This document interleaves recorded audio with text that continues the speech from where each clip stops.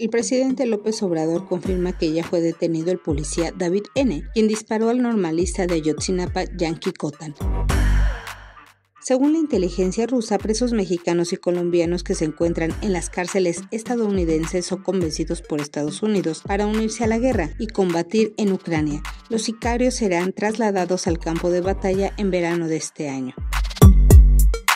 La World Athletics se convierte en la primera federación internacional que premia económicamente a sus campeones olímpicos en los Juegos de París 2024. Cada uno de los 48 campeones olímpicos en la capital francesa recibirá un premio de 50 mil dólares a compartir en el caso de las pruebas por equipo.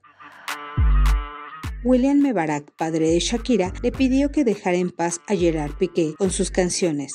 Al parecer, el patriarca tuvo una charla con la creadora del álbum Las mujeres ya no lloran, pues teme por la seguridad de sus nietos ante tanto drama mediático que ha vivido desde el año pasado.